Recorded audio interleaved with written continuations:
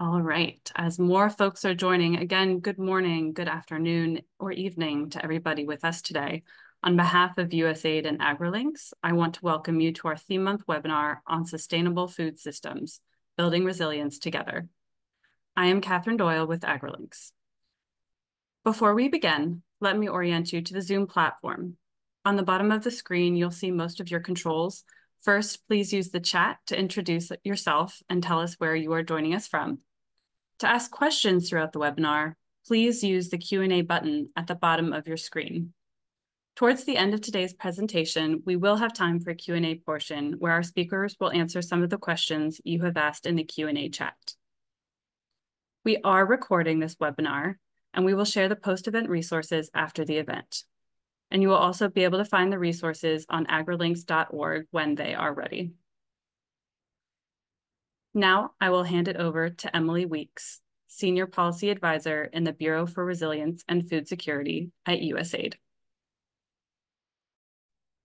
Thank you, Catherine, and welcome everybody. It really is a delight to see so many people joining us. I've been watching the numbers very excitedly, seeing them going up and up as far as the number of participants we have. This indicates to us how important this topic is We've been running this webinar for the last four years on sustainable food systems and having a sustainable food systems month to highlight the importance of addressing our food security issues in a collaborative and integrated way. In particular, bringing together sectors, looking across issues, climate, natural resource management, uh, agricultural practices, market systems, food systems as a whole, and bringing across players that make important decisions and play important roles in improving the sustainability of our food systems, including policymakers, academics, private sector. Today, we are faced with a food crisis, as recently reported in the Global Food Report in 2024, that paints a picture of 281 million people experiencing acute food insecurity, with 36 countries experiencing protracted multi-year food crisis. As we continue to address the challenges of unpredicted stresses and shocks and ongoing impacts of climate change, including changes in market systems and insecurity in regards to political situations, we continue to need to work together in order to address this challenge. I've been very privileged to be part of this working group that we established about five, six years ago to bring together our colleagues at USAID across our different bureaus and offices to address sustainable food systems and identifying programs and opportunities for us to work with partners to be able to address these challenges collectively. We know that the ongoing rates of deforestation, land degradation, expansion of agriculture, increase in uh, climate impacts and climate shocks, changes in market systems have continued to be a challenge that we at USAID have been working to address and be able to come up with collective solutions to be able to ensure that we can reduce the number of food insecure populations around the globe.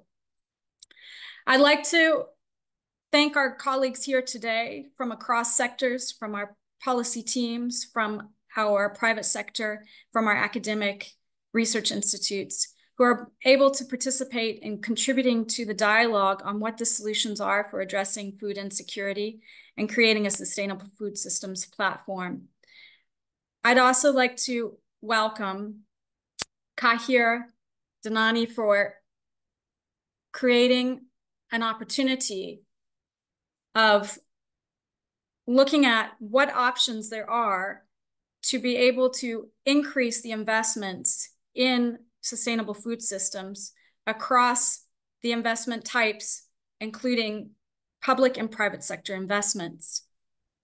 Kahir has been working with USAID in partnership across different projects, supporting us in addressing food loss and waste, su supporting uh, identifying opportunities for investments and resilience, and also looking more broadly at integrating platforms and frameworks for providing guidance and how we collectively provide solutions to the challenges we face in the climate change space. Kahir works for Boston Consulting Groups, and he is a managing director and partner at BCG. He has provided us with leadership across the public sector and the private sector. And he has also provided opportunities for us to advance our SDGs and enhance institutional, eh, institutional efficiency and effectiveness and agility across our different sectors and platforms. So I'd like to hand it over to Kahir for framing today's discussion. And again, I thank Kahir and his team for producing the work that he has for the last couple years in collaboration with our different programs and look forward to your presentation and to the panelists who follow um, Kahir's presentation. Thank you. Thank you so much, uh, Emily. It's a pleasure to be here. I'm, I'm very excited about this conversation with all of you um, today and, uh, to share some thoughts from, from myself and BCG. Uh, we have some slides to, uh, to share, which I'll project right now. Um, hopefully everyone can see them. Um, what I'd like to do today, um, before we get into the panel discussion, um, and thank you very much for organizing this panel discussion, um, is to share um, a couple of thoughts on how on on the discussion and to frame it. And what we wanted to do is outline some of the multiple impacts of climate change on the food systems. Of course, everybody in this call has a good sense of that, but to just uh, hone in on a couple uh, share a framework that we've developed that um, with USAID, um, but also with support from the African Development Bank, with uh, from um, from support from the uh, FCDO and others, uh, that helps to decision makers prioritize investments. And then I want to illustrate that approach using the case study of Nigeria. So we go uh, from the conceptual to the real. So speaking about um, you know the negative impacts of um, of climate change, it's and we're looking at the food value chain here. And what we've done is we've mapped the food value chain uh, from farmer inputs all the way to consumption, and look at where are the impacts um, of climate change on that food value chain, right? And they're happening in two ways, right? So one is the climate risks, right? So resulting in food loss and waste. So you see, for example, um, you know, spoilage um, and growth during heat waves. Um, and then you look also at uh, other non-climate related risks to the food value chain, um, you know, from pest uh, outbreaks and disease outbreaks to lack of cold, cold chain supply. But across the value chain, um, the climate impact and non-climate impact risks uh, are present, and they're not just central to food and agriculture, but they have an impact on energy, on water, on um, on health, on infrastructure in cities, um, and on nature and biodiversity. So that multiple impacts leads us to a question of what are the solutions that um, we need to use to address um, these issues, both to reduce emissions, but also, and more importantly, perhaps to build resilience and adaptation. And so we worked to look at all options and solutions out there um, and to scan uh, different solutions across these sectors and um, working with CACCI, the Comprehensive Action on Climate Change Initiative, uh, we identified 115 different adaptation and resilience solutions that have been defined across these sectors. And to give you some illustration of that, in food and agriculture, it's everything from um, you know, efficient storage and, and processing infrastructure. Um, in water, it's the promotion of drip irrigation um, and other efficient irrigation methods. Um, in infrastructure, it's modifying road and railway networks. And so it's looking at all of these options uh, and solutions out there that are present that have been applied in different contexts. The question then comes up is, well, with so many options um, and so many solutions for different problems, where do you start? What do you do? Um, and how do you take an analytical approach that gets you the right priorities to make the right investments? And then how do you take those investments and finance them? So what we did um, and this is the framework that we developed with USA, with FCDO, with the African Development Bank, and with, with some, some of the governments that we support, um, is we built this framework that has five steps to it. Um, and these steps take us through um, one, starting with a progress stock take. So we don't want to start by reinventing the wheel. We want to start by seeing what's already out there. So we looked at everything that's been done in the country or in the region um, in question from the World Bank, from USAID, from the Regional Development Bank, from the UN, from other partners, um, and from the government itself, and say this is where the current progress is, this is where the current um, context and situation is in the given uh, country when it comes to climate change. Um, and of course, the, the national adaptation plans and NDCs are, are part of that. Then, and, and we've done this in many places, and we found that one of the key things that's missing um, often is the the use of heavy and um, you know high levels of data analytics uh, to measure the granular uh, climate risks. And so what we did is we developed uh, models and an approach to go down to a 500 square uh, meter granularity to look at the climate impact drivers at that level. And so once you have that, you actually can see that these are the challenges that we're facing in this particular locality. Um, and uh, these are the impact drivers that are driving, that are going to have an impact in this locality. And that allows you to say, well, we know now where the challenges are. So let's create a portfolio. That's step three of projects um, and investments that are uh, required to uh, mitigate, to um, uh, to build adaptation and to build resilience for those uh, impact drivers. And that results in a long list, but then uh, you require a bit of prioritization, and that prioritization happens on, in terms of impact and, and feasibility. Um, and then you go into a process in step four and five around resource mobilization. So figuring out who should provide the funding for those uh, projects, whether it should be public or private or blended, um, and then um, the implementation and monitoring coming forward uh, after that to make sure that those investments actually take through to the to the end. So with that, um, I'd like to dive into one example um, we have in Nigeria. Um, so in Nigeria, this is looking at steps two and three because we, we don't need a, st a stock take, but looking at looking at that granular risk assessment at the country level using deep data and analytics, and then two, the private capital mobilization and thinking about what are the attractive projects and how do you actually um, uh, prioritize them. So to start with that uh, climate impact drivers. So we know Nigeria is exposed to several climate impact drivers, uh, drought, chronic heat, fire, sea level rise, and flooding. Uh, these are the main ones. Of course, there are others. And so taking each of these, how do we go through a process of assessing um, what the impact is across the country? So now, again, go, going back to that level of granularity of uh, 500 square meters, um, we looked at the climate risk intensity, the economic impacts, the social impacts, um, and developed a vulnerability index based off of these. So when I think when I talk about economic impacts, I'm talking about um, job loss. I'm talking about um, roads getting um, you know inundated if it's uh, through flooding or other economic assets having um, uh, being impacted, energy assets being impacted.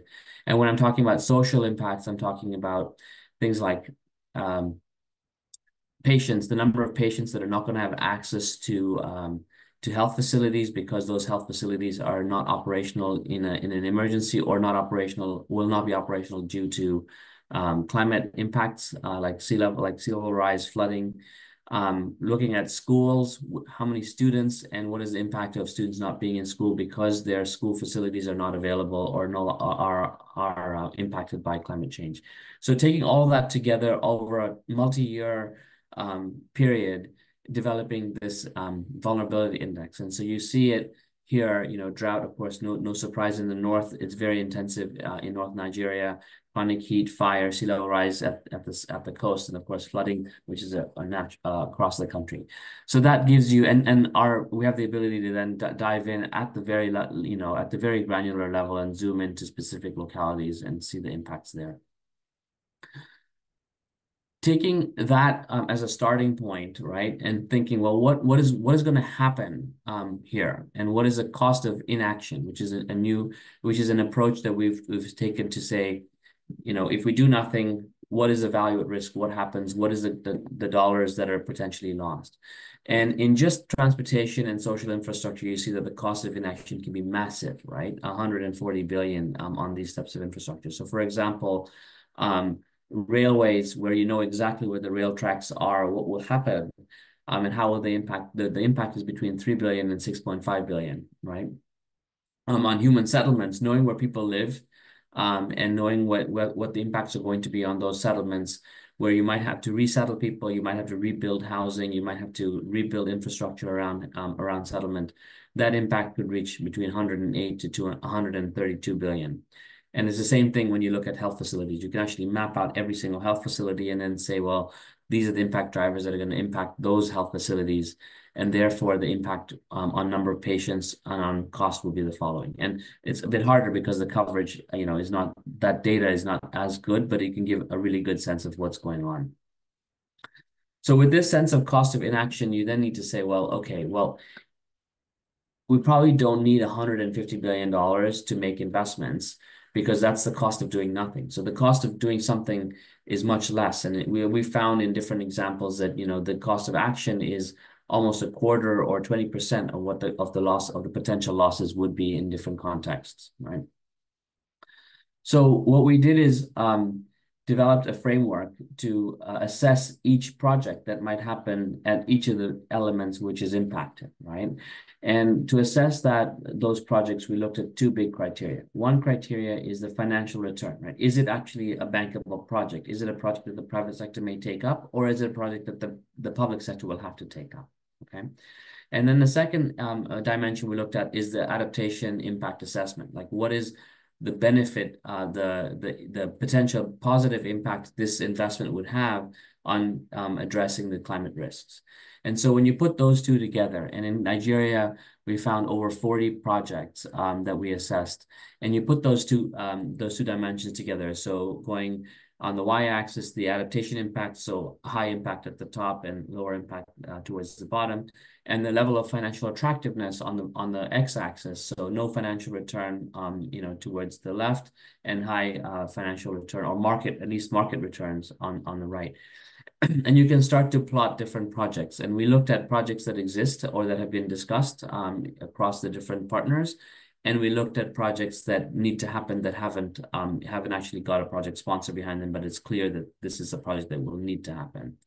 And so you're able to look, you're able to map them out and say, well, there are some that have really good market returns. You know, um, waste to energy, for example, will have a market return and has some impact. But then on the on the flip side, there are some projects that have high impact, like you see number 32 there, which is, you know, uh, the, the surveillance systems, right? Surveillance systems the private sector may not be open to investing into, but are critical um, to get everybody aligned um, and to get um, uh, um, the investments moving forward. So with that, we then take um, a approach, an approach of assessing who should invest in, in which opportunities. And each project you can triage. And so we've gone through a process of triaging all the projects and saying that there are some that have commercial opportunities that the private sector can absolutely pick up and they have financial returns. And we we're going to have some of our colleagues on this uh, panel talk about uh, those commercial opportunities that they've seen.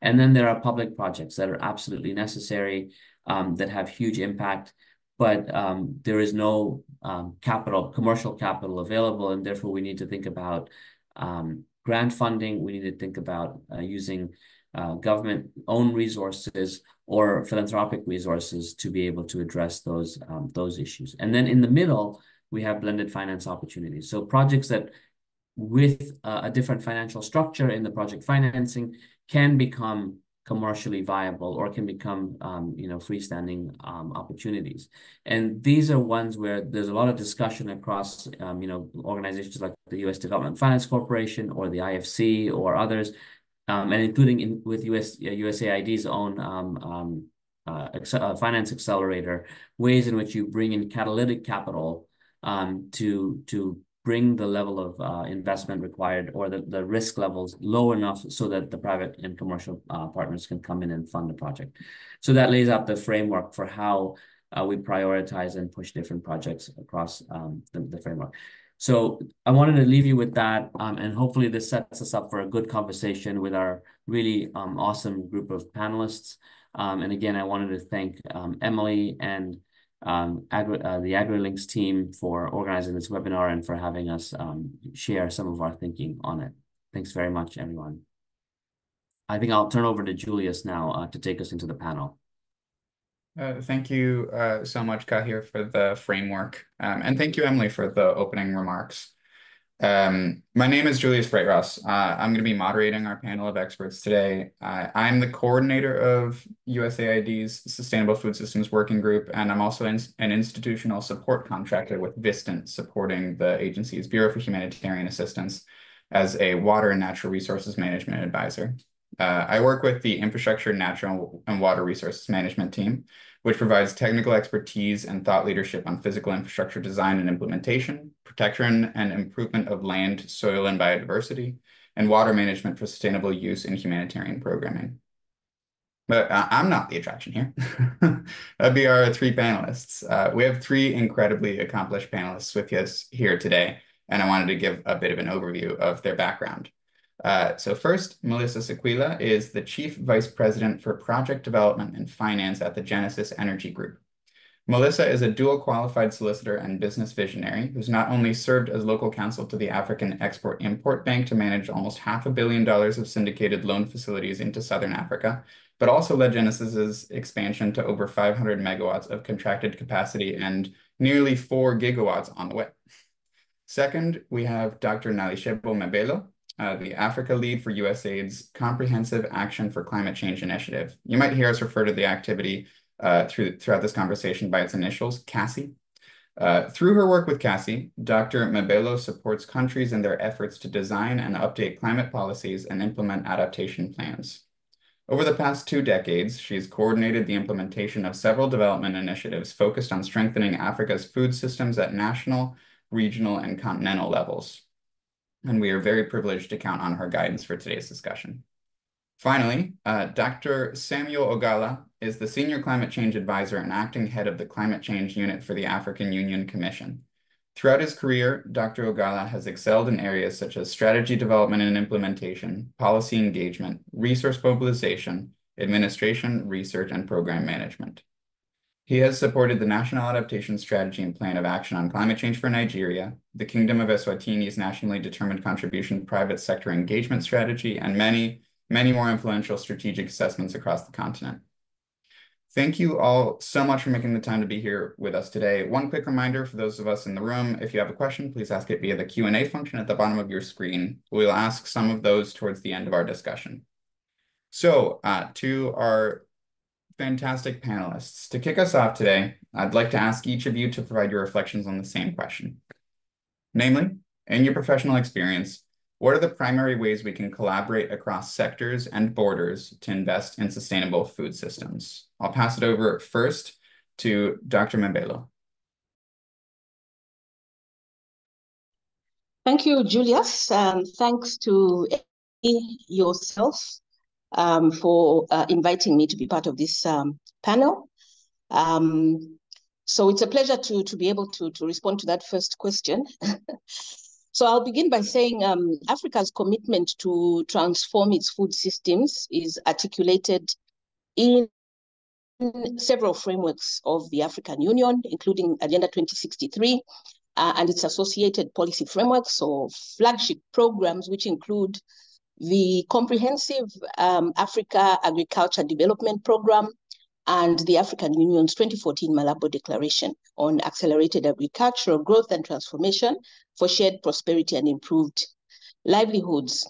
Now, these um, frameworks um, provide uh, for tackling intrinsic challenges in Africa's food system, and they encourage the need to develop multi-sectoral and multidisciplinary food systems approaches at national level approaches that have well delineated roles for the sector.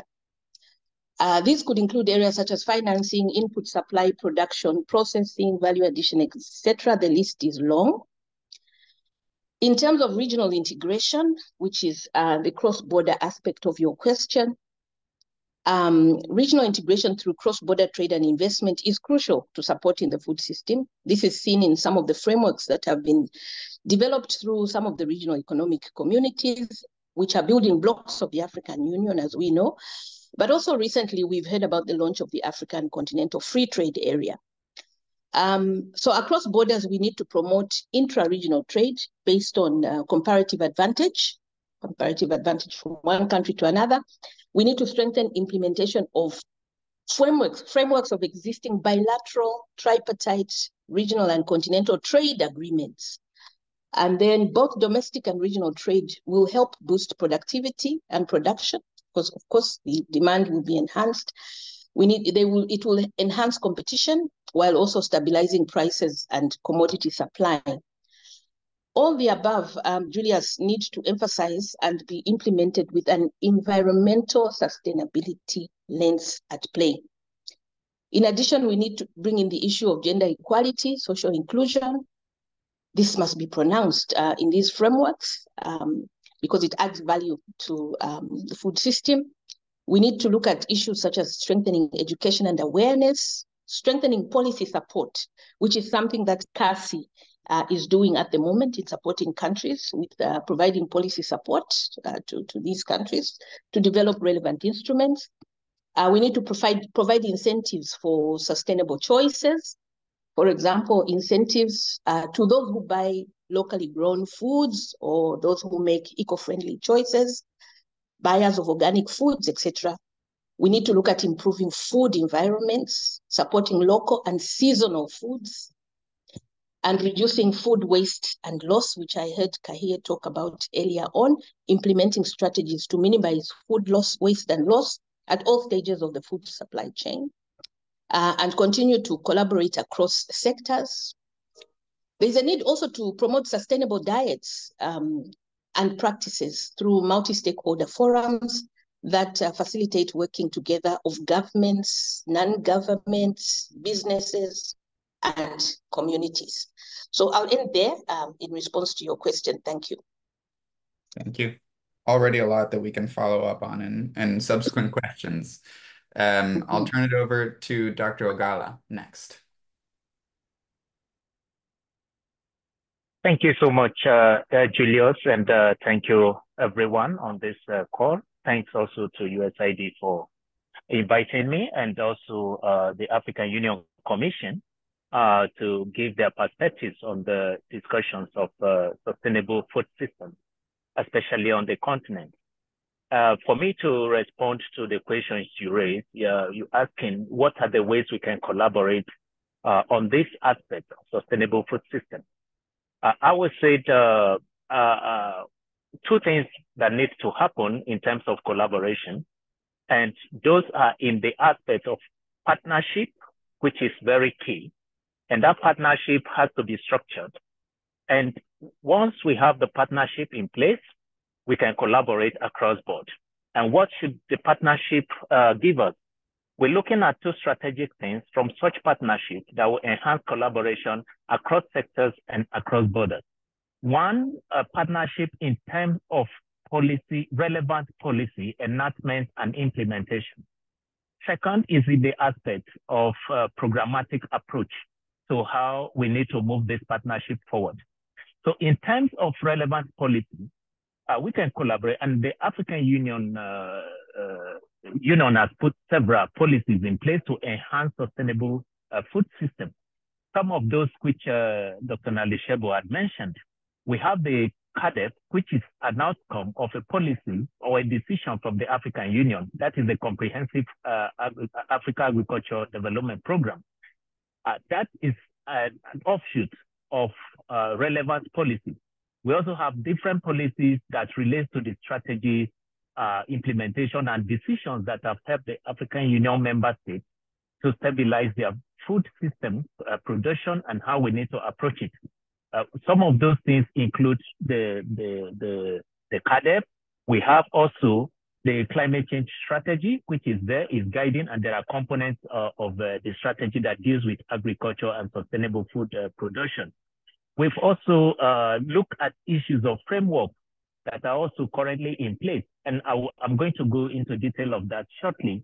What are the enabling uh, policy frameworks that we have on the continent that is enhancing a sustainable uh, food system and production on the continent? What are the strategies? I will look into. So in the aspect of partnership, we need to collaborate with relevant partners whether they are private sector, whether they are uh, non-governmental uh, organizations, or whether they are government institutions, uh, we need, we're exploring, and what we have done over the years at the African Union Commission is to explore partnership through uh, this front that we have, both the member states and the non-member states, to develop relevant policies that will address the issue of sustainable food system on the continent. The second aspect is also in the programmatic uh, approach. which deals with that partnership. We've worked with several institutions, and I'm going to uh, like World Bank and uh, uh, EU and uh, also USAID that we're currently also uh, working with to bring put in a relevant policies that will address the issues of food sustainable food system on the continent. And then we implement with our member states at some of these because they are now backed with existing policies or decisions of the African Union, then it becomes easy to implement. And because all the member states have signed on to such decisions and policies, then the program comes and it rolls.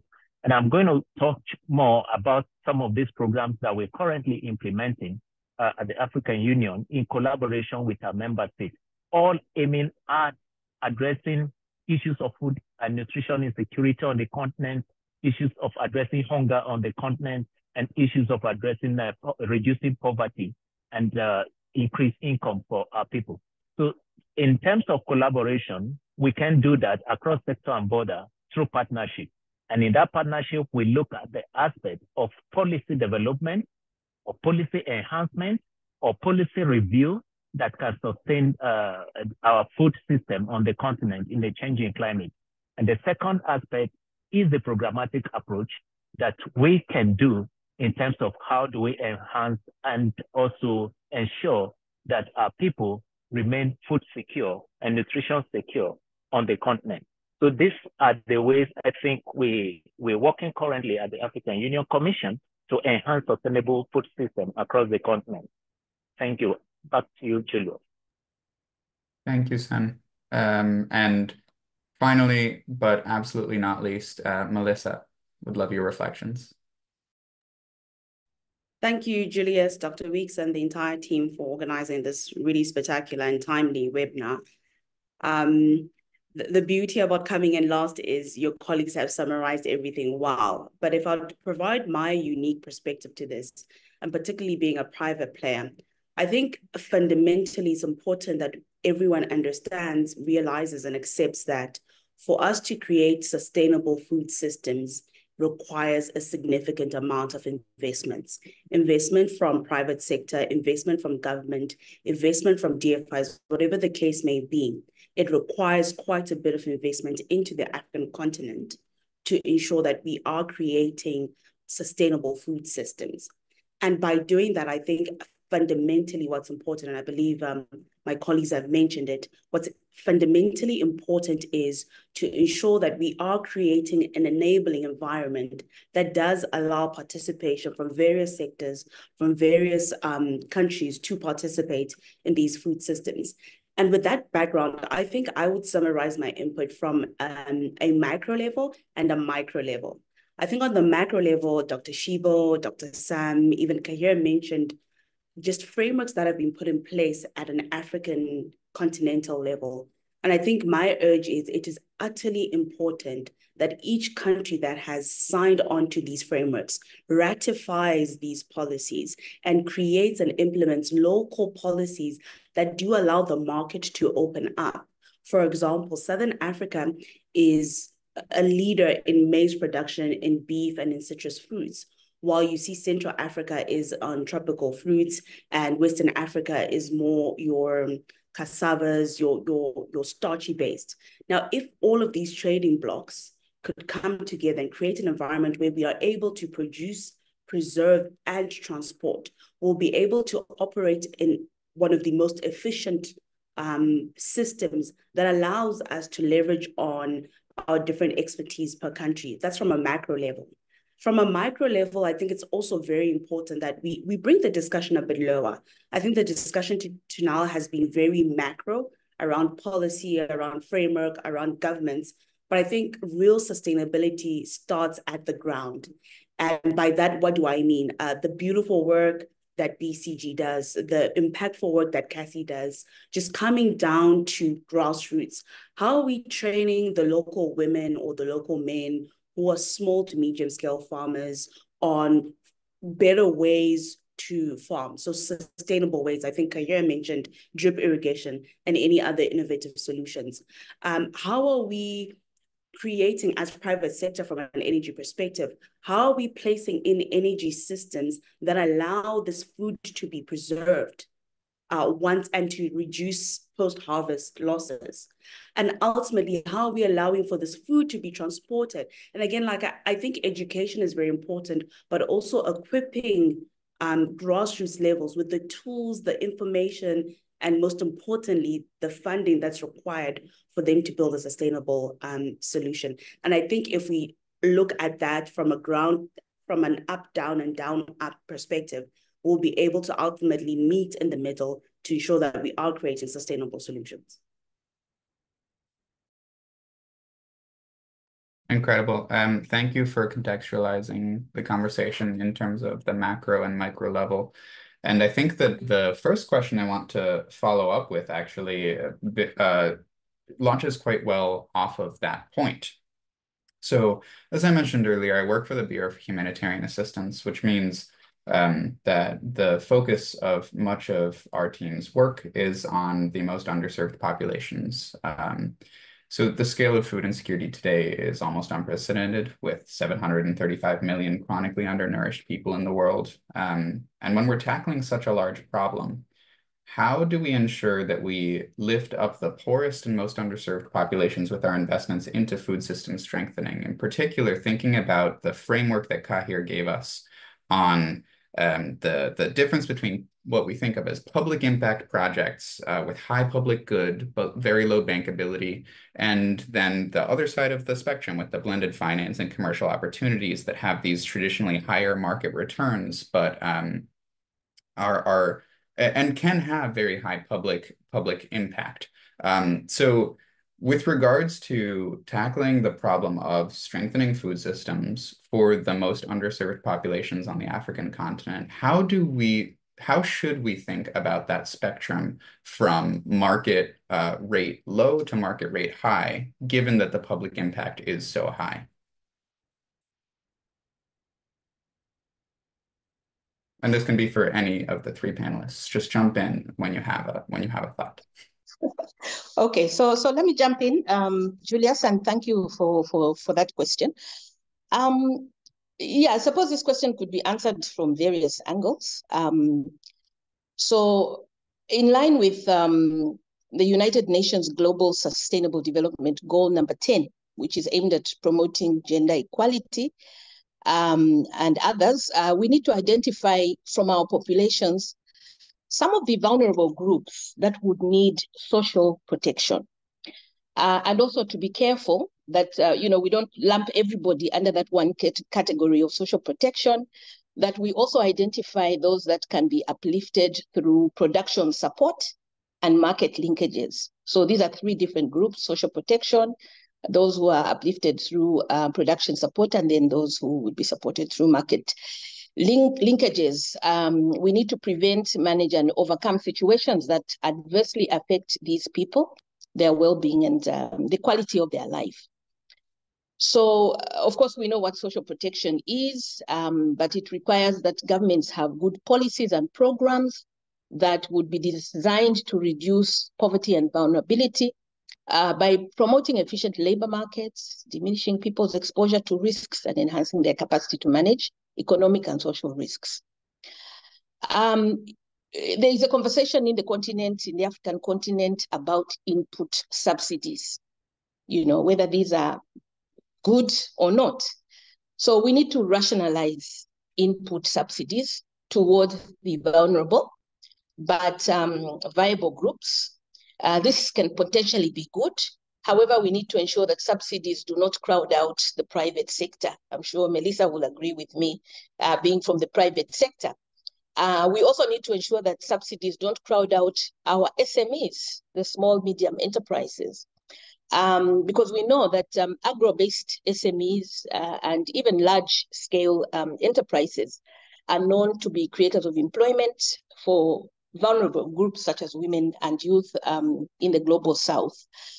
So we need to focus on some of those issues. And then we also need to strengthen our community-based approaches, um, our financial support and the incentives um, that come with that um, there is a huge demand for capacity building and education.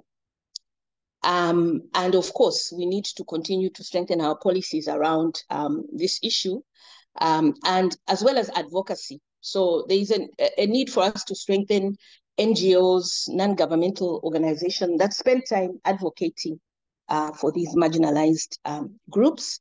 And then, of course, in the context of um, um, uh, cross-sector collaboration, we need to ensure that we uh, sectors are all working together for the common public good of ensuring that um, uh, uh, these groups, the marginalized groups, receive the support that they require. Thank you. Dr. Meebelo. Um, I would love to hear from Samuel in particular, because we may lose him to another meeting that he is coordinating for the African Union. Um, Samuel, do you have any reflections on this? Uh, uh, thank you, Julius. Uh, in terms of uh, subsidy, I think uh, what we need to look at uh, is the aspect who is also assessing uh, the, who is the subsidy meant for and who benefits from the subsidy. Uh, you will know that uh, over 80% of farming system on the continent is done by smallholder farmers. And some of these smallholder farmers don't have collateral to even get to, to the bank or some of these uh, seed companies or fertilizer things to access them or even get uh, access to renewable and uh, energy efficient technologies that they can use uh, in enhancing their productivity and also uh, create jobs and lift uh, the young African population out of poverty. And now that 60%, over 60% of cultivable arable land globally is on the African continent. It then means that Africa can feed the world if we do agriculture in the right way and make our food uh, production sustainable. But for us, for the continent to feed the world and feed itself, a subsidy cannot totally be, uh, you know, be overlooked, uh, either by the government, especially given that uh, majority of the smallholder farmers uh, have lack access to some of these incentives.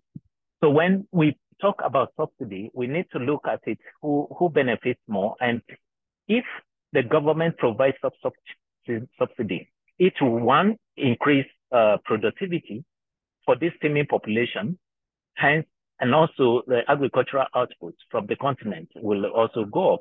And that will, in a way, also enhance the living condition of the African people and create jobs for this young one. So in terms of subsidy, we're, we're looking at, okay, is it in terms of um, uh, renewable energy or energy efficiency? Is it in terms of energy? Uh, do, do, the government need to waive, uh, you know, tax waves on some of these things? Some of these farmers might want to go into irrigation farming. And in the climate changing climate, we would need to adopt a, a modern uh, digital technology in terms of irrigation. So the cost of uh, irrigation facilities, especially if we want to, to, to use uh, renewable energy sources, is high. So who, who, who comes in between? Because the private sector will not want to, to, to go into helping in subsidizing because agriculture is looked at a very risky area, which they don't want to put a lot of money there. Nobody wants to do business in a too risky environment. So the place of subsidy is key in terms of enhancing and strengthening our uh, food system. Also talk about quality seeds. Uh, the smallholder farmers, not all of them will be able to afford quality seeds that will withstand the changing climate. In such way, a subsidy comes in handy to increase productivity. And also in terms of uh, even uh, organic, inorganic uh, uh, fertilizer as well, that aspect also, we need subsidy. When you go across, uh, I see the presentation earlier, Nigeria to Southern Africa, and the Horn of Africa that is uh, going through drought and, and other things. So what do we do in the face of drought? Then we have to maybe involve the, in the technology of rainwater harvesting when it comes. Those equipment that are required might be beyond the, the purchasing power of the smallholder farmers who is feeding Africa and the young population. Thereby, the subsidy comes in. So I think it's uh, a, a, situation of giving it a balance um, that, okay, the private sector needs to maximize profit, but also the majority of the farmers, the smallholder farmers on the continent, who are now being uh, saddled with the responsibility of servicing the climate uh, impact across the continent, will actually need to be subsidized for them to enhance productivity, reduce poverty and hunger, and create jobs for the teeming population. And then in such way, Africa can feed itself and also feed the world, having over 60% of the global uncultivated arable land. I submit. Thank you. Brilliant. Um, I wish we had three hours uh, to discuss all the different components of that answer because it was really comprehensive and had a lot of a lot of really interesting components. I want to follow up on one component of it and direct it to Melissa, um, specifically on investments into renewable energy. Uh, it, it would be great to to right size subsidies uh, insofar as these would benefit uh, the most underserved populations, but renewable energy, as we will hopefully about to hear, is something that uh, is incredibly market competitive across Africa. Um, and I would love to get Melissa's perspective on how um, energy plays into food security in this in this way at the the juncture of the public good and the potential for market investment. Um, so over to you, Melissa. Uh, thanks, Julius. And I think that's such a pertinent question. And the short answer would be, um, arguably, I think energy plays one of the most critical roles in in in uh, food production and it's simple. So for example, um, as uh, Dr. Sam mentioned, the bulk majority of farmers in Africa are small scale farmers in rural areas. Now, one of the fundament, one of the other fundamental aspects of agriculture is water supply. Now, with the ongoing drought, which we anticipate will continue to prevail in the next couple of years, we need to be considering alternative ways to to water our, our crops or to provide water and sanitation to, to our agricultural practices. Now, one of the things we're doing as Genesis is uh, solar drip irrigation. And again, that's two-pronged, that's solar plus um, energy.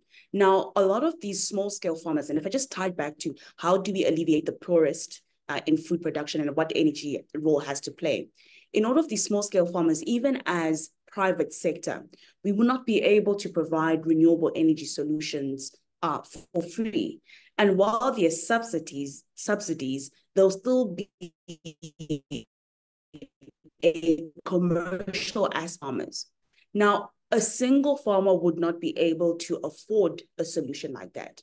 But if we come and we aggregate farmers within particular regions, for example, if you take the um, Bulawayo region of, let's say, Zimbabwe, and you aggregate small scale farmers or rural farmers within that area, and you form a quasi mini grid on irrigation, but also on power.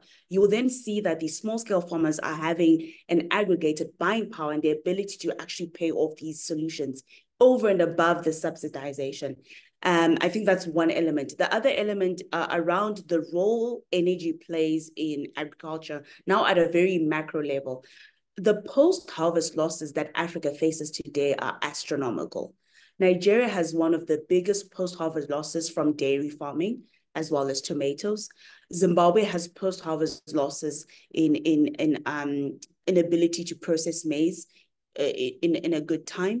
And all of this can be alleviated by putting in solar powered or renewable energy powered cold storage systems that will allow us to preserve these products.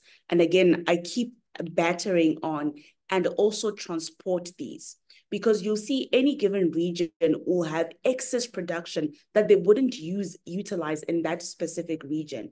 It is important that we create an enabling environment that where we can transport food and trade food to allow for more sustainable um, agriculture.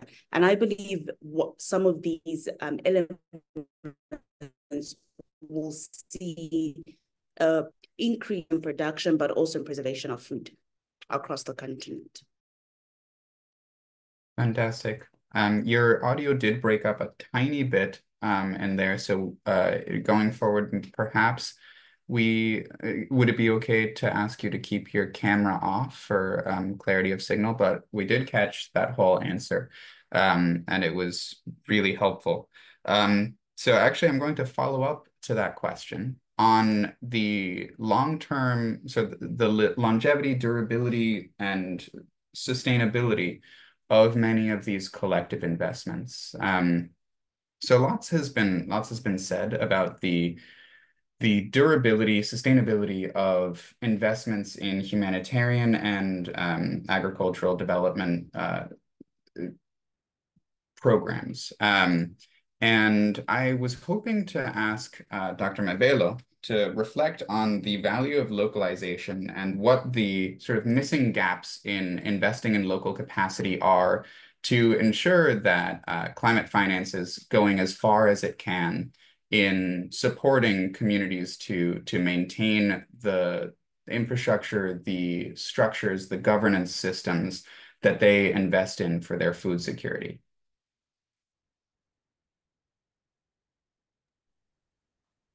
Thank you, uh, Julius, uh, for that question. So uh, could you just repeat the question again? Sorry. Yes, absolutely. Um, so essentially, I'm I'm hoping to get some insights from you on localization. Mm -hmm. How what mm -hmm. we should be looking into in terms of supporting through policy, supporting through investments, in mm-hmm. supporting the capacity of local organizations and communities to invest themselves in food security and to sustain investments in food security. Okay, so thank you for that. Um, yeah, so earlier on, um, Kahir mentioned the um, project um, that I am working on, USAID's Comprehensive Action for Climate Change Initiative, which has a huge focus on localization on working with local institutions to ensure that um, country NDCs and NAPs um, are advanced um, in, in terms of their implementation. And so working with um, um, local institutions, for instance, I'll give an example in Zambia. Uh, Zambia uh, was supported by an institution called the Indaba Agriculture Policy Research Institute uh, to help the country strengthen its implementation of the NDC and the NAP. And one of the areas that they were looking at was supporting countries develop uh, policy instruments um, and strategies that would help to deliver on certain thematic areas, including uh, the area of finance. So in Zambia, one of the instruments that has recently been launched is the um, Green Growth Strategy. Uh, and the idea of the green growth strategy, of course, is to help um, advance um, private sector investment, uh, climate finance into uh, green uh, projects. Um, another area that um, has been looked at uh, within the context of um, enhancing uh, climate finance um, and access by the communities is the area of um, supporting the development of, of projects, bankable projects, um, so obviously bankable projects in order to uh, advance um, finance. So in my case, I believe that governments should provide a predictable policy and regulatory environment that provides and also expedites private sector investments that would then supplement public, donor, and other financing while creating uh, in employment. Another instrument that the government is working on at the moment is a legislative framework to promote green financing. Uh, and an example is um, uh, of, of some of those uh, products would be green bonds. Uh, and some of you may be aware that um, uh, a company called the Copper Copperbelt Energy Corporation in Zambia actually floated some green bonds um, up to about $200 million worth. So this is with a view, obviously, to attract private investment um, uh, and ensure climate finance is flowing um, in the country.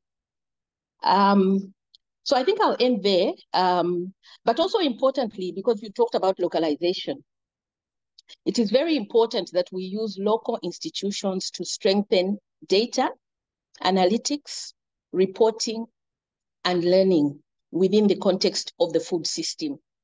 Um, countries should, cannot develop policies willy-nilly they need the support of local institutions to support um, data and analytics to uh, inform some of those um, instruments that are relevant uh, for enhancing climate finance um, in the country. Thank you. Thank you very much. Um, so we are coming rapidly to the close of our uh, fireside chat component of the panel, um, where we will then transition into the public Q&A. But before we do that, I just wanted to leave everyone with the opportunity through a final question to reflect on the biggest barriers still remaining to sustainable, resilient food systems. Um, so we have talked about some of these, but I wanted to give the opportunity to just reflect on that a bit more explicitly. And first, because I saw he was already on the move uh, and want to give him the opportunity to respond, um, Samuel.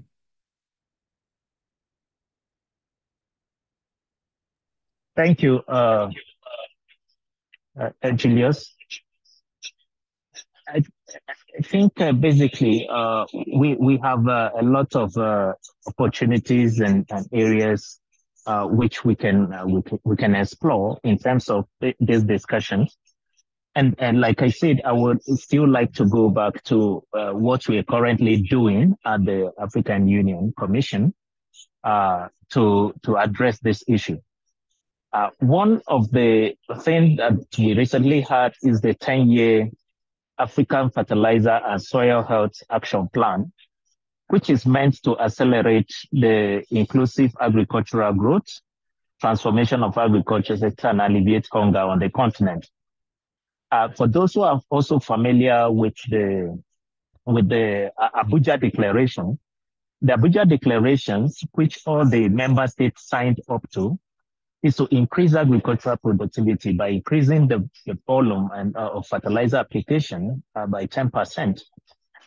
And uh, that declaration is binding on all the, the member states and they are enforcing it.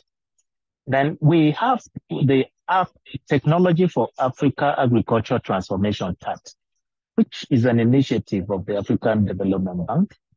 And that contributes to the Feed Africa strategy uh, meant to lift 40 million out of poverty by 2025 and increase productivity uh, beyond uh, uh, over 40%. But over and above, we have the CAADP, which I talked about earlier, and uh, the Malabo Declaration. So these strategies are there to enhance the whole process Above all, on top of that, in the changing climate, is the African Union Climate Change and Resilient Development Strategy and Action Plan 2022 to 2032, which is one of the strategy that the USAID Comprehensive Action for Climate Change Initiative is supporting the African Union in its implementation. In the context of changing climate, the climate change strategy is also focused, in fact, there is a dedication, uh, dedicated intervention axis on food security, sustainable food system for the continent. And this is the overarching climate change strategy that is governing the whole continent on this. And now it also emphasizes the aspect of the climate smart agriculture, which is uh, increasing agricultural uh, productivity on the African continent sustainably why not, uh, why reducing the greenhouse gas emission and also contributing to national development? And I think that is also the aspect where the CACCI project that uh, Nalishebo talks about, and uh, the, which is supported by USAID, is also coming in uh, strongly. So these are various instruments as far as uh, the African Union is concerned. Just to mention but a few, that uh, are currently in place to address some of the questions uh, were being raised. So when you take these uh, documents and these policies and strategies, which actually draw their existence from the Africa Agenda 2063, you will see that we, the African Union continent is focused on making the current 220 million Africans who are under uh, chronic undernutrition uh, and also uh, majority of our farmers who are dependent on rain-fed agriculture, which is climate sensitive and is no longer reliable, uh, to, to move ahead uh, in terms of addressing sustainable food system and the questions you answered. So what we need to do and take forward is effective implementation of these strategies, and it will help us to address most of the questions we are talking about. The strategy as well as the policy also talks about even a subsidy, it talks about uh, renewable energy, it talks about introduction of technology to help uh, African agriculture and sustainable food systems. So these are some of the things that if we implement them, and uh, especially along with our member states, uh, will change the narration about sustainable food system on the continent. And this is where we also welcome. I talked about the issue of partnership. The private sector are key in the delivery of this because the government instrument, the African Union instrument alone cannot do it. The resources are not there. But partnership with the private sector, an institution that like USAID and other like-minded will help us in effective implementation and responding to most of the questions uh, we've been uh, asked here. Uh, let me stop here and I submit uh, Julius. Thank you.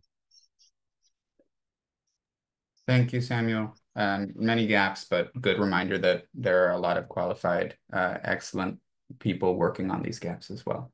Um, over to Melissa for the same question. Thank you, Julius. And if you allow me, I just want to switch on my video to ensure that I'm audible.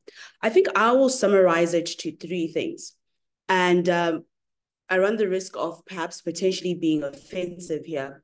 But I think the, the first on my list is we spend a lot of time as a continent and as a sector setting up policies and frameworks and not enough time implementing these. Um, my colleagues here have mentioned these brilliant ideas and strategy documents that are there that have been there for years and we're doing far less in actual actionable um, actions to put that forward. I mean, you do have um, organizations such as CACCI, um, Aim for Climate Change, Aim for Sea. You do have pockets of action, but I think for, for the policymakers on this on this webinar, I think we now need to move and turn into action steps that will create real impact and change. The second thing is, I think the discussion always or is mostly a very macro discussion.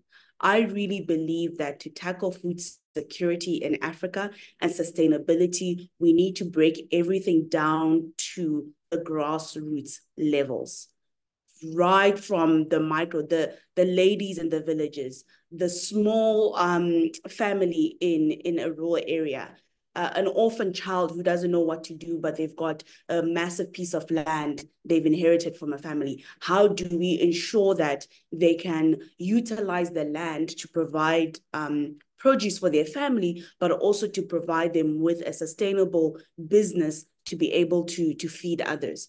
And I think the last one, but not least, and particularly coming from me from the private sector, is investment. I think it is absolutely critical that one of the barriers is lack of access to agri financing, lack of access to, and while there are bonds, and there are fantastic bonds out there, all of the DFIs have green bonds.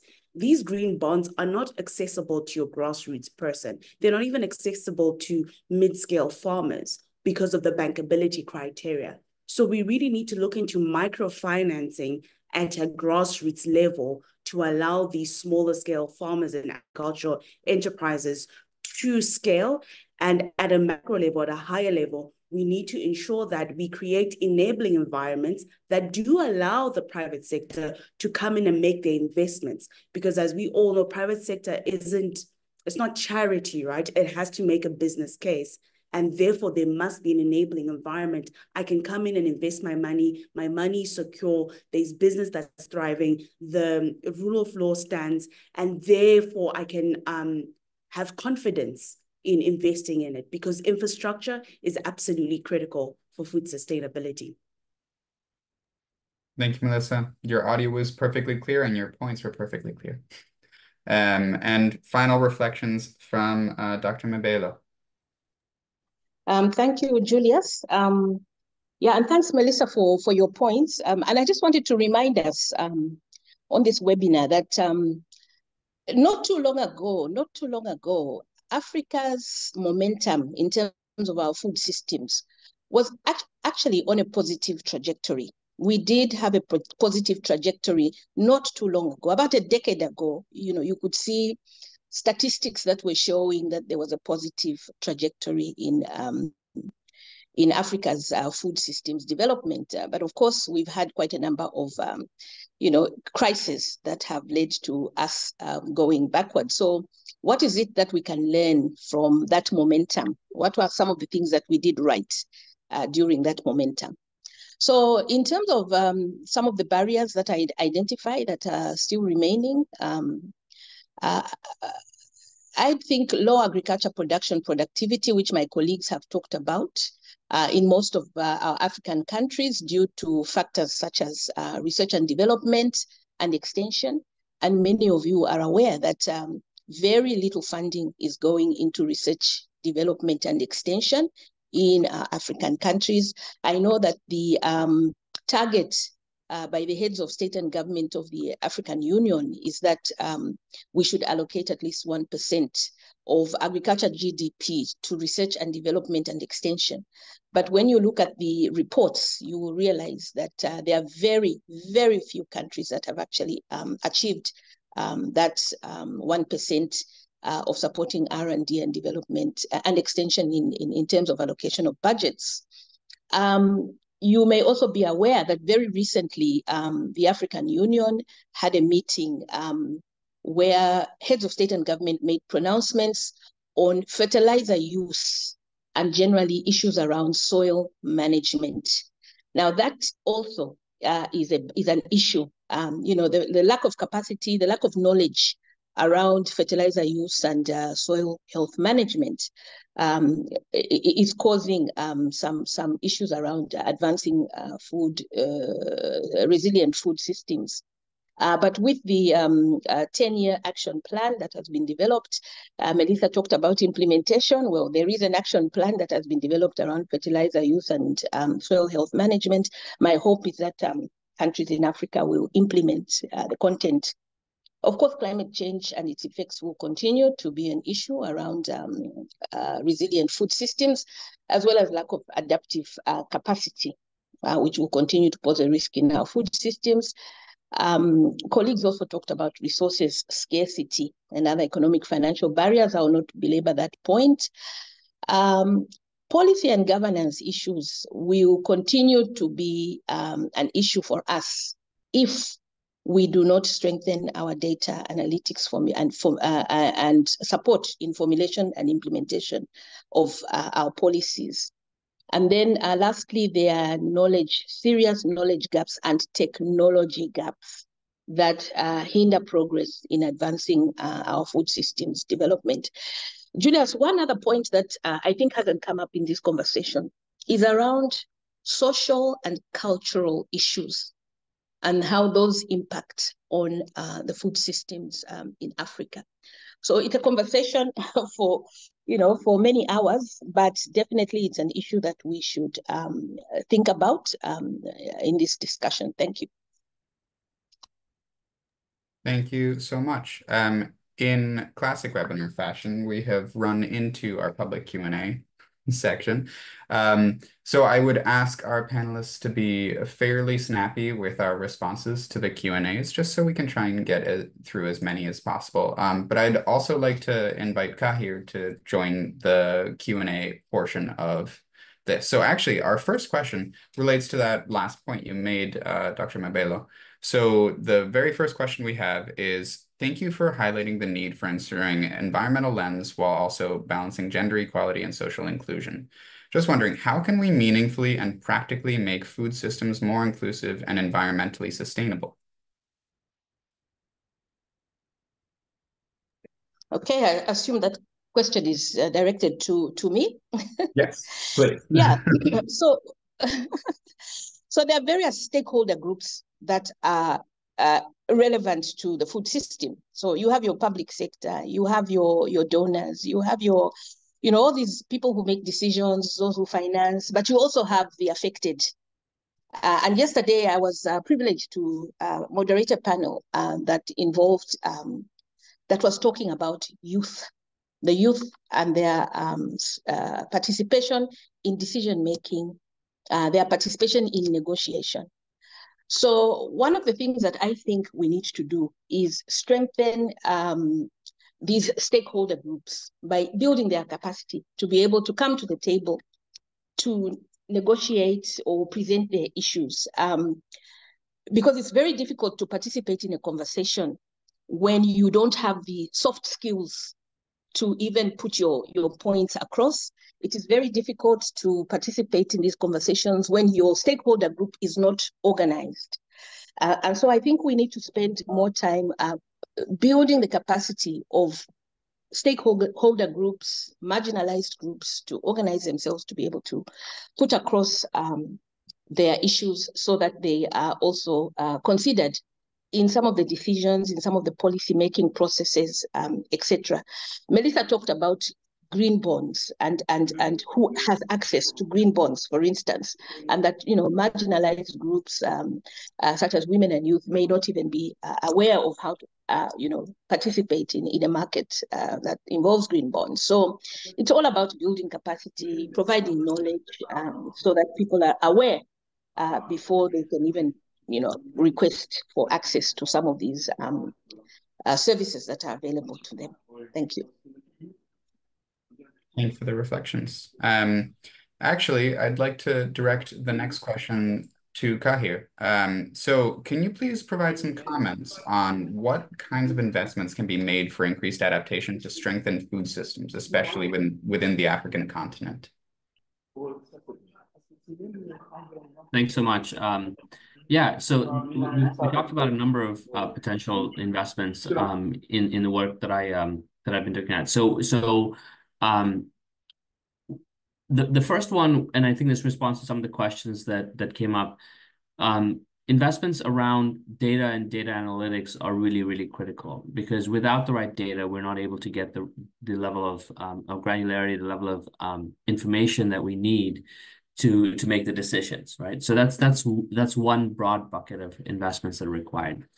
But I think um, you know, Melissa talked about uh, the importance of energy and using uh, renewable energy across the agriculture food value chain is critical. Um, so to create redundancies of, of the power network uh, or to create the power network, as the case may be, um, energy storage to systems, um, you know, microgrid, natural gas generators, uh, which are strategically distributed in the right places, um, if as as may be needed.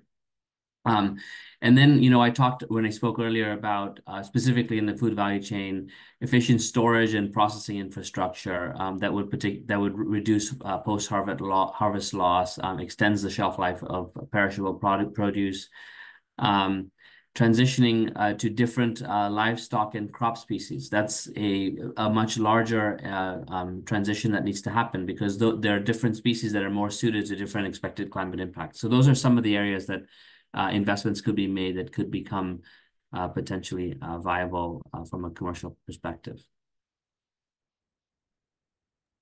Thank you, Kahir. Also, always worth keeping that bankability in mind. Um, in in which sense, uh, let me direct the next question to Melissa. Um, can you speak a little bit more about how different sectors are supporting technologies that reduce food loss uh, and other advancements for sustainable food systems? So I know we did talk a little bit about the energy sector, but would love to get your reflections on this and on how that in that bankability for the grassroots can really be made possible.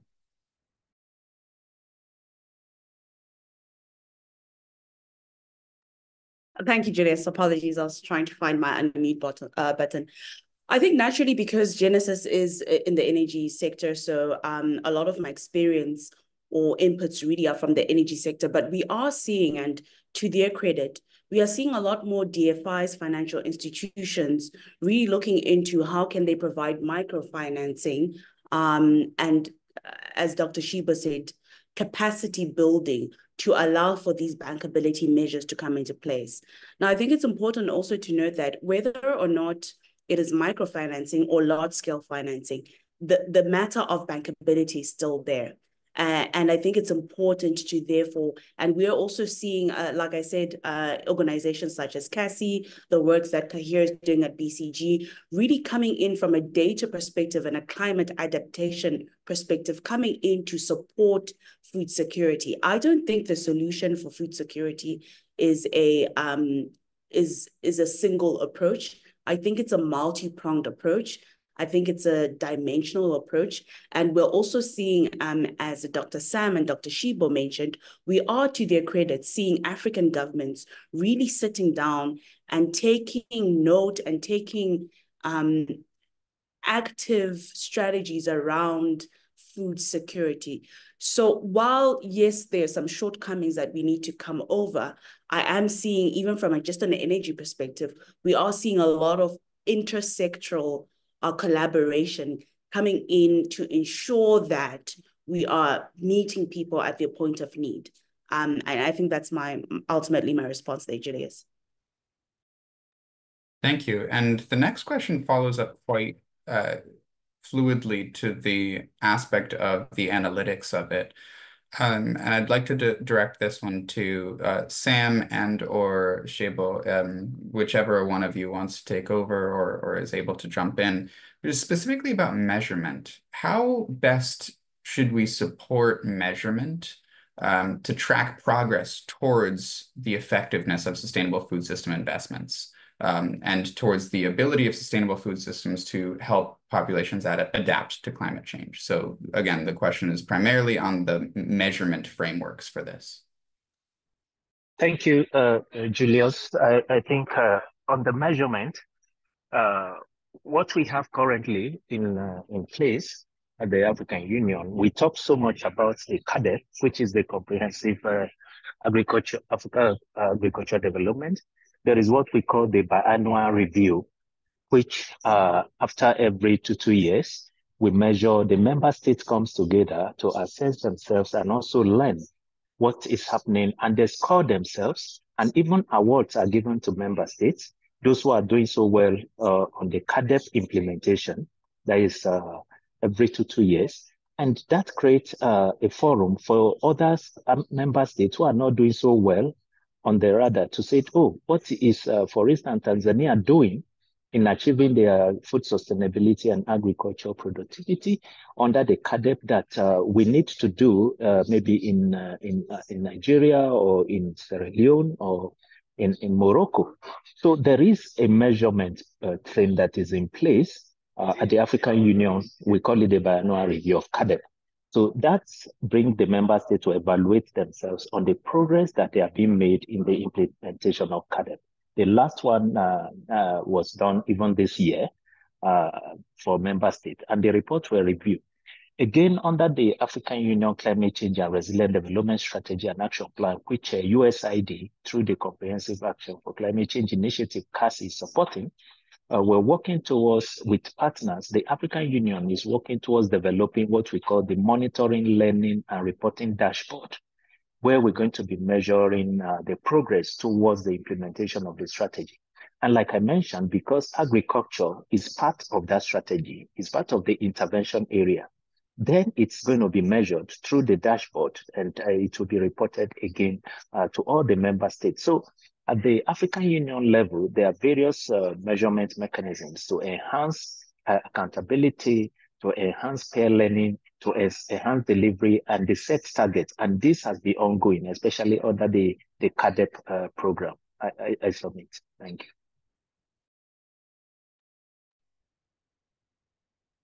Um, Julius, if I can just add on to um, that point. Yes, please go ahead. Yes. So these measurement frameworks that Sam has spoken about are as good as the data that feeds into them. So the data becomes an issue. Um, and countries, you know, many a time have talked about the challenges that we have in, in collecting data to feed into some of these tools. And so it will be very important for us to rethink um, how we resource data collection uh, in these countries, how we resource capacity building for collection of data, for analytics, etc. So it takes me back to what I talked about, the lack of um, investment in uh, the area of research, in the area of data collection, and uh, etc. So these are good um, uh, measurement tools, yes, but I think they still have um, a, a, a, bit of a long way to go in terms of ensuring that you know the data that goes into them is uh, data that is sufficient and that those who collect it are well capacitated. Thank you. Thank you for that really important closing point. Um, I'm going to ask one last question. This is open to all panelists to answer uh, and to Kahir. Um, and then I, I may have to uh, cut in partway through so that we can hand it over to our closing uh, speaker. Um, so the question is, are panelists seeing many opportunities for climate finance and investments to fund projects that may not have a clear return on investment? What do you see as the main barriers to scaling this up and to making it work for to benefit small scale farmers?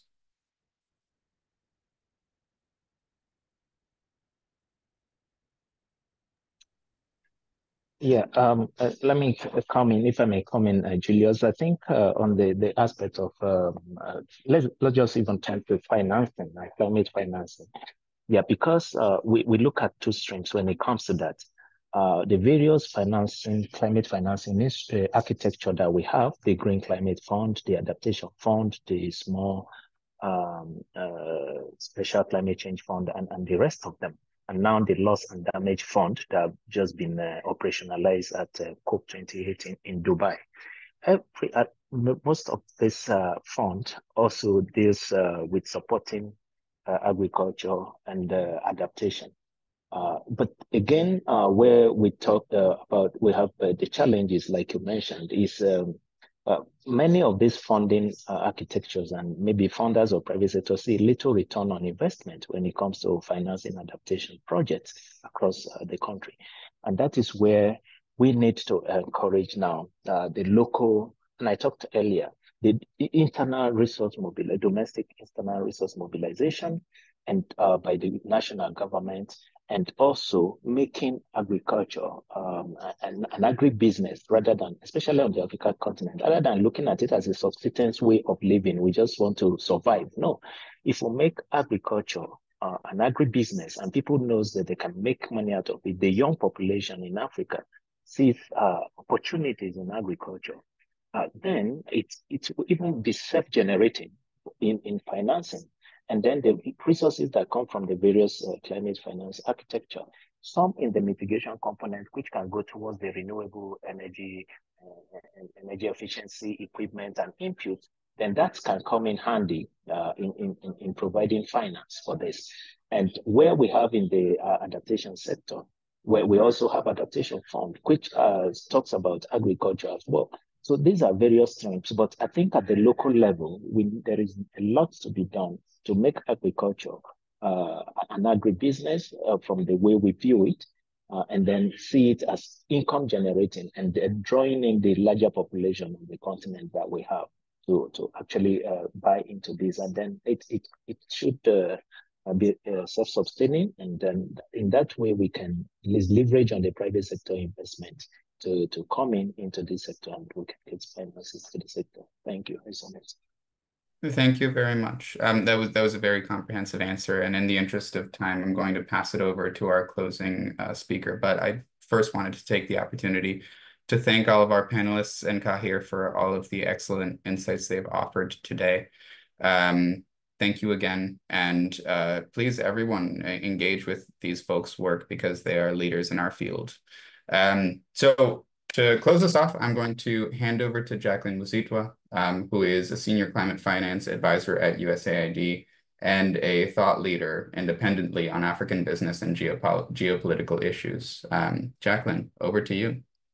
Thank you, Julius, and thank you to all the panelists for such an interesting conversation. Um, I wasn't able to tune into all of it, but from what I heard, I'm definitely inspired despite the number of challenges that were pointed out during the session.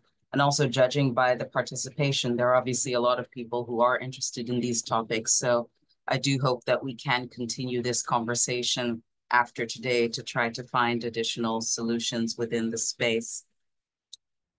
I think just a few words um, with respect to some of the work that we're doing here at USAID, um, just to provide additional context um, from our perspective. I think one thing that came out of the conversation that you had that we're definitely trying to tackle is around localization. How can we better utilize skills, networks, indigenous knowledge, um, local financing structures in the countries where USAID is active and really working through the mechanisms we have to better support people on the ground um, is a top priority for USAID because we do understand the value that our partners have and why it's especially important for adaptation, uh, why it's important for food systems that unfortunately aren't always getting a majority of the financing um, and also um, political attention. Now, I, I, think just also to highlight a couple of um, points that were raised earlier, um, it's obviously um, been said before that you know it's all we all have a role to play. And i think it's really important for us not only to point the finger at uh, lawmakers um, and others but really trying to figure out where we sit what we can do i definitely applaud the leadership of the african union really getting member states to think harder to think more about food systems and really food independence. Um, and one thing, though, that I would like to continue to urge member states is to think more creatively about how to create enabling environments, how to create more sustainable investment um, environments so that investors can come in and find the value in long-term sustainable solutions um, within the agricultural space. Part of that is coming up with predictable policies, laws, and regulations, but part of it is making sure that there is inherence um, investors are able to really find the opportunities um, there. In addition to effective policies, I think one big question is how can African countries better incentivize sustainable agricultural practices, uh, support innovation and drive systemic change. I think a lot of the panelists before mentioned the need for better data um, and mentioned the need for systemic approaches. But I think at the core of that is really how do we create more opportunities for employment? How do we create healthier populations and how do we also promote wealth across the continent? Moving to the point of data, uh, not only as a tool, uh, but also as a point of leverage. I think it's really important for us to continue to tap into African educational institutions, think tank, and really use them as sources of knowledge as well as direction within the space.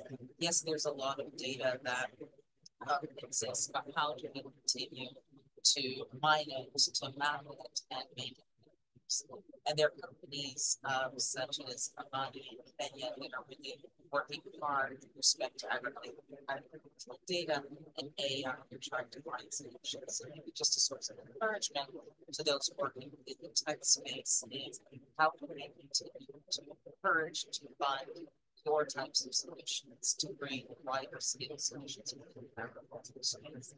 Uh, within our team here, let's say through the private finance very welcome to celebrate, for instance, um, and the adaptation we video have provided funding to develop base that is using data to track uh, floods across the world and to use that data more to help more agricultural policy. So we too are trying to maintain of the agriculture sector um, predictability and really trying to influence policy and I think another part of the argument just really kind of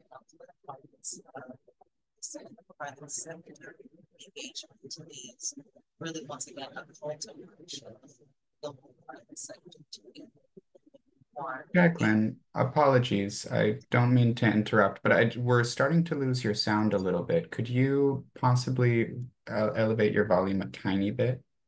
Yes, you still uh, it's still a little modulated, um, but we'll, we'll forge on and and hope to catch the the rest of the remarks. Apologies for the in, the interruption. No problem. Um, I also Yes, a little bit.